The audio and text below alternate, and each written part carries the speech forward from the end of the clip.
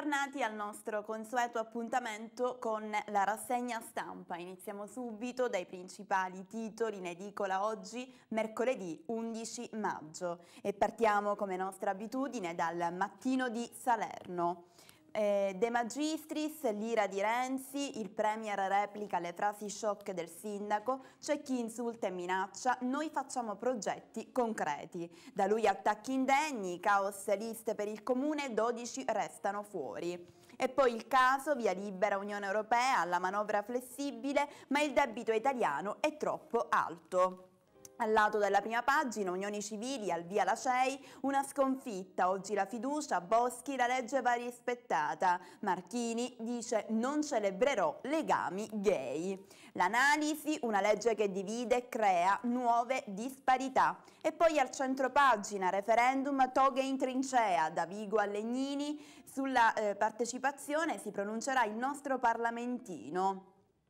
Fumata grigia nell'incontro tra vicepresidente del Consiglio Superiore della Magistratura e il Sindacato dei Magistrati. Eh, poi parte il festival nel manifesto La Casa dello Scrittore, Cannes nel, nel segno di, di, Capri e Malaparte. Poi le idee, il codice etico non rispettato. In fondo alla pagina, stroncata cellula ISIS, Roma nel mirino. Bari, tre fermati, pronti a colpire, avevano le foto del Colosseo. Le interviste del mattino, sempre in fondo alla pagina, Sacchi, Napoli Super, Insigne vada via, Lorenzo per crescere deve cambiare. E passiamo subito all'edizione di Salerno e provincia, quindi andiamo anche in questo caso a leggere le notizie messe in risalto nella prima pagina del quotidiano. E andiamo quindi alla notizia che riguarda la rivolta degli operai dei rifiuti, protesta shock dei lavoratori del consorzio di Bacino sul tetto della sede di Ostaglio.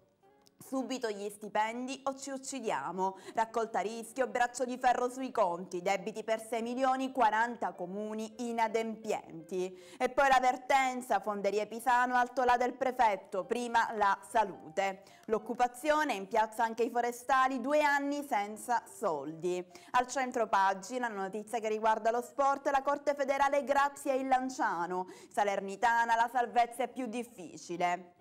Sempre in questa prima pagina, fiumi di droga per i turisti, scacco alla gang del Cilento, maxi blitz dei carabinieri nel golfo di Policastro, dalla provincia di Napoli a Sapri, il viaggio dei corrieri carichi di cocaina, eroina e hashish. E poi il caso, trovato morto a 30 anni, giallo a Berlino.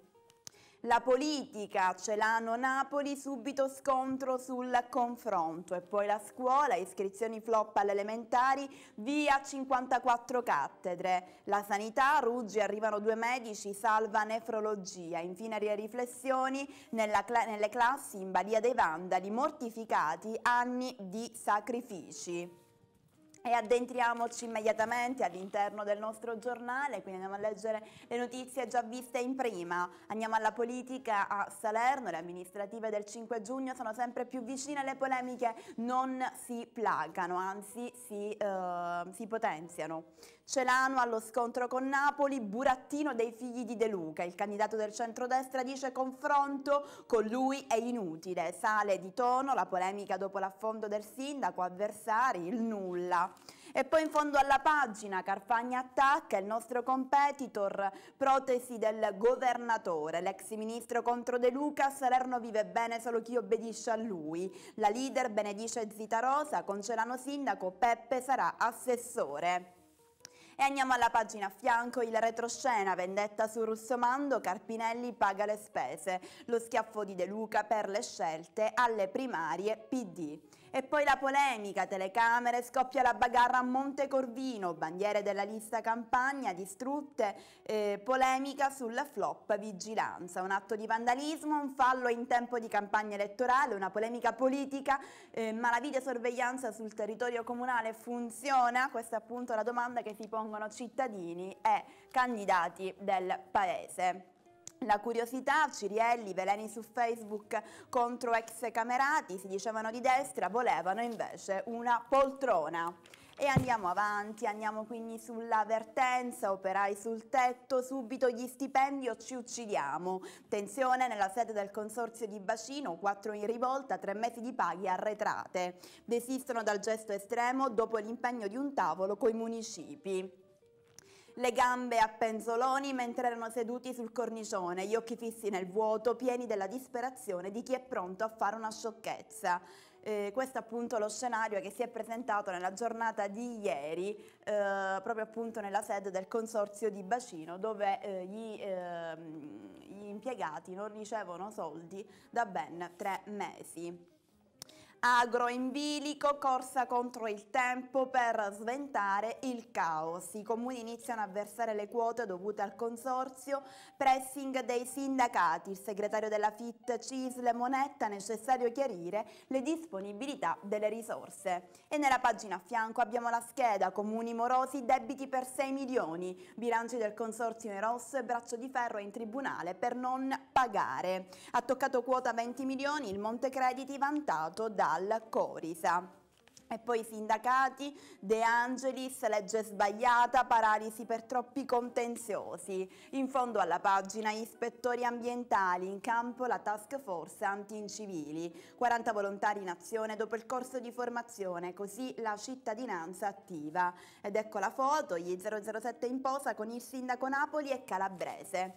Pro procediamo oltre. E andiamo quindi eh, alla, um, al taglio di cattedre, quindi andiamo alla questione scuola, tagli di cattedre alle elementari, 54 posti in meno, in provincia un calo di ben 700 iscrizioni, ci sono anche 16 docenti di sostegno, allarme per i precari.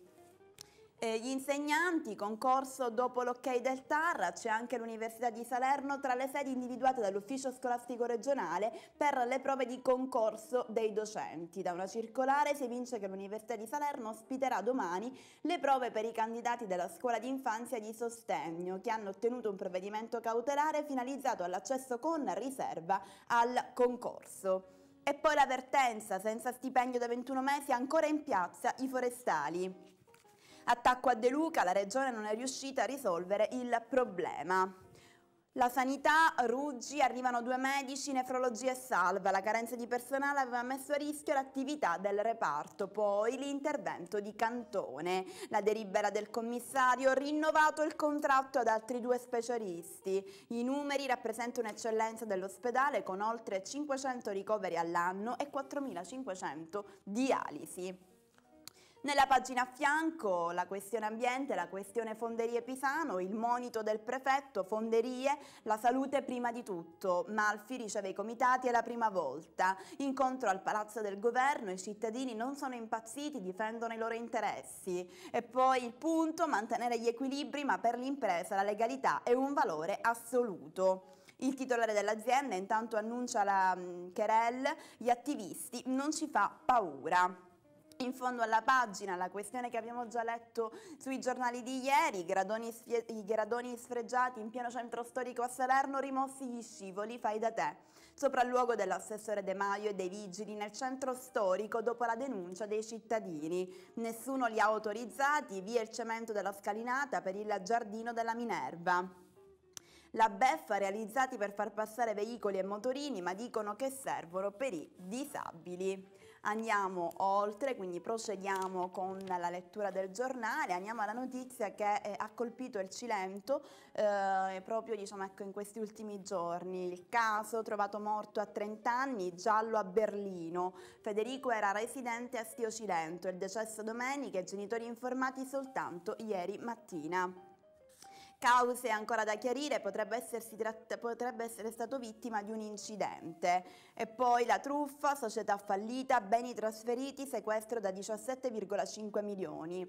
L'inchiesta via il giudice rischio reset per il processo Scarano. Magistrato trasferito, la difesa chiede lo stop, riascoltare i testimoni. E poi la storia, fumogeni nella caserma dell'arma, la festa del tifoso finisce con il DASPO.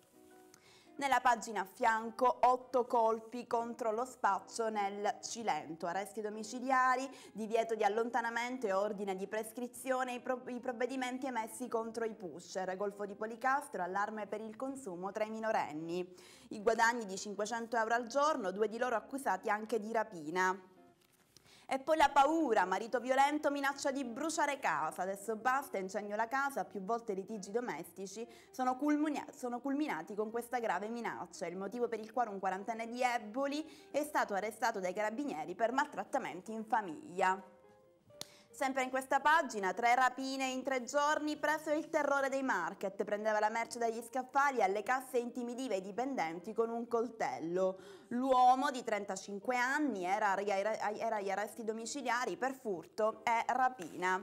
In fondo alla pagina, caffè nero per i clienti, l'hotel è sequestrato, Pisciotta sigilli al mare Olivo per una difformità della licenza edilizia. La struttura attiva da 10 anni, gli interventi concessi dovevano essere compiuti compiuti sull'antico monastero del paese procediamo oltre, quindi andiamo a Battipaglia ed Eboli. Eh, Battipaglia, ancora una volta si parla delle comunali, delle prossime amministrative, tutti a caccia dei voti diciotti, il pasticcio delle liste bocciate, oggi l'ex leader CISL decide se presentare ricorso. Pressing sui candidati, ma Rifondazione avverte, mai con i democratici.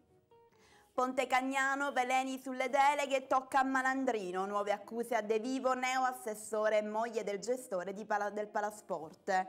Sica sotto tiro e il PD lo attacca sull'aeroporto. E poi Eboli, push rapicchiato, identificati gli aggressori, la litoranea, luogo di spaccio. Dopo il misterioso agguato arrestato uno straniero. I tre sono del napoletano, un magrebino bloccato con mezzo chilo di droga. Il marocchino di 31enne si era nascosto in pineta con l'ashish da vendere.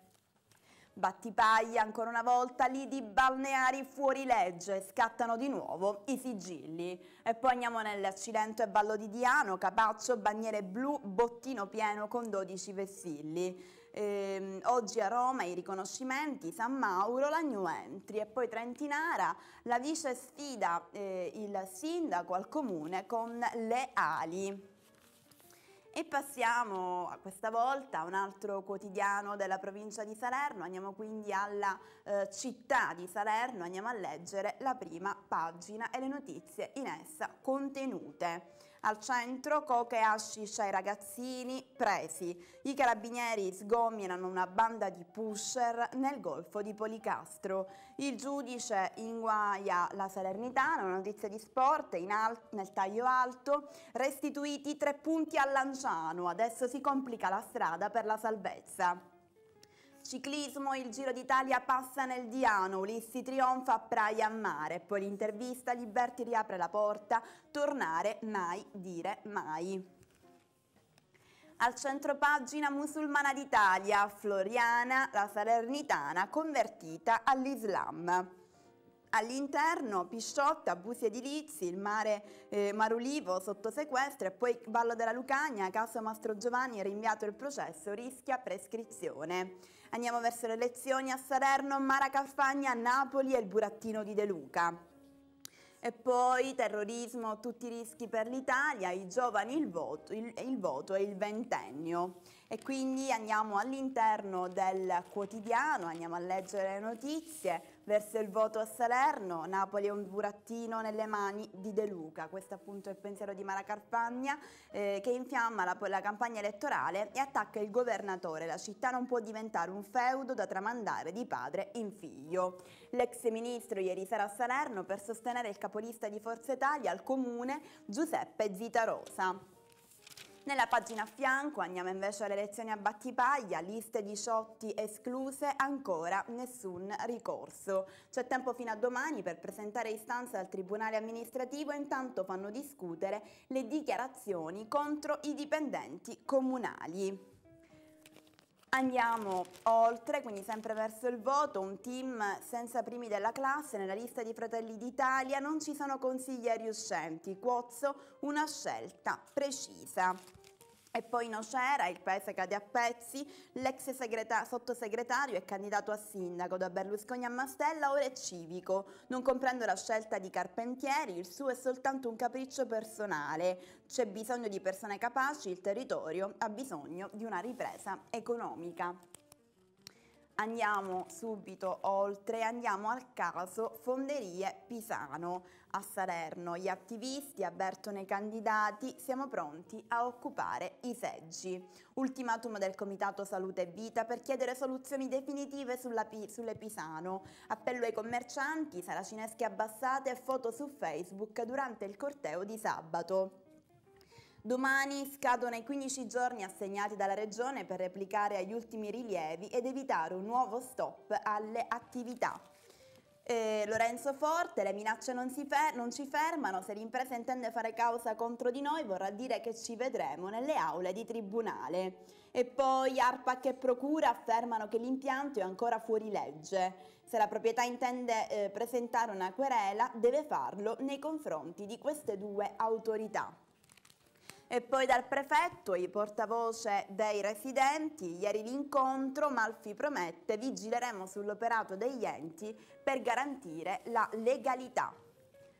Andiamo avanti, andiamo quindi alle proteste sul lavoro. Il consorzio non paga, operaio tenta il suicidio. I dipendenti della Salerno 2 senza certezze da tre mesi non ricevono soldi. Oggi in prefettura l'incontro per discutere del passaggio a Salerno pulita raccolta di oli esausti poi in due piazze. Arrivano 30 nuovi ispettori ambientali, non possono fare multe ma devono educare al decoro della città, c'è anche qualche pensionato. Nella pagina a fianco torna in piazza la rabbia degli idraulico-forestali. Stamane presidio a Piazza Mendola, promosso dalle organizzazioni sindacali, i ritardi nel versamento degli stipendi vanno dai 10 ai 21 mesi. La situazione più difficile è quella dei dipendenti della comunità Irno-Solofrana, ma chi è in servizio negli altri enti montani non se la passa meglio. Dalla Regione intanto si attende una riforma dell'assetto legislativo che non è stata ancora vagliata dalla Giunta, nonostante le promesse del Presidente De Luca. Andiamo oltre, gli scivoli nel centro storico di Salerno erano abusivi, cominciata la rimozione. Vigili urbani, tecnici e l'assessore De Maio ieri in via Ferrante San Severino, in molti sui social puntano il dito contro i residenti che non hanno denunciato. Nella pagina a fianco la storia che abbiamo già visto in prima, vi spiego perché ho scelto Allah. Floriana Vassallo, 22 anni, è salernitana e si è convertita all'Islam. Nella comunità musulmana ha conosciuto il marito. La mia famiglia non è contenta di questa decisione radicale, ma sono stata fortunata, non mi ha ostacolato. Ero atia, dice due anni fa, eh, mi ha illuminato un versetto del Corano, porto il velo per un atto di fede e non mi sento sottomessa come donna. Il terrorismo, dice, non ha nulla a che vedere con la nostra religione, le guerre sono politiche strumentali, al sud c'è ancora più diffidenza che al nord. Infine passiamo invece alle notizie che riguardano il Cilento e il Vallo di Diano, andiamo quindi a Capaccio, sicurezza nei lidi, i gestori promuovono le nuove disposizioni procedure più snelle per operatori del soccorso e assistenza, cambiamenti anche per i bagnini e i limiti alla balneazione. Agropoli, case popolari di Frascinelle consegnati agli, agli, assegnatari e poi Roccadaspide, non toccate il nostro ospedale, la regione taglia il plesso di Roccadaspide, le lettere di pazienti e familiari. Nella pagina a fianco la notizia che abbiamo già visto in prima pagina, Spacciavano la droga anche ai ragazzini, scattano otto ordinanze, i carabinieri bloccano la rete di pusher nel golfo di Policastro, hashish, eroina e coca Fiumi tra Sapri, Vibonati e Santa Maria. L'allarme degli inquirenti, la prima sniffata da appena 15 anni, raffica di perquisizione e numerose segnalazioni di minori alla prefettura per l'uso di stupefacenti. Infine, eh, trasporti, alta velocità. Base per collegare Salerno al Cilento. Poi Sala Consilina, condoni edilizi, il comune incassa 5 milioni di euro. Abusi edilizi, sigilli al resort dei VIP, sotto sequestro il Marulivo di Pisciotta, i clienti trasferiti in altri alberghi. Infine in fondo alla pagina il caso Mastro Giovanni, processo in bilico, la morte del maestro, slitta la sentenza, c'è il rischio di prescrizione. Per oggi la nostra rassegna stampa si conclude qui, l'appuntamento è per domani, sempre a quest'ora, sempre su questo canale. Vi auguro una buona giornata e una buona continuazione di programmi.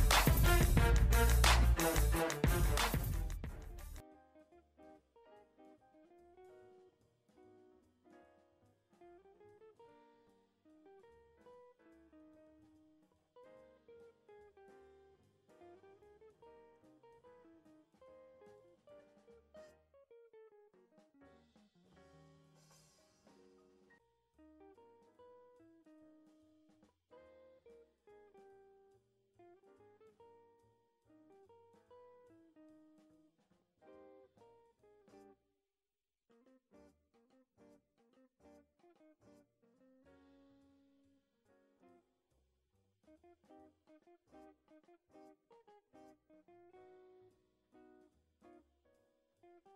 you.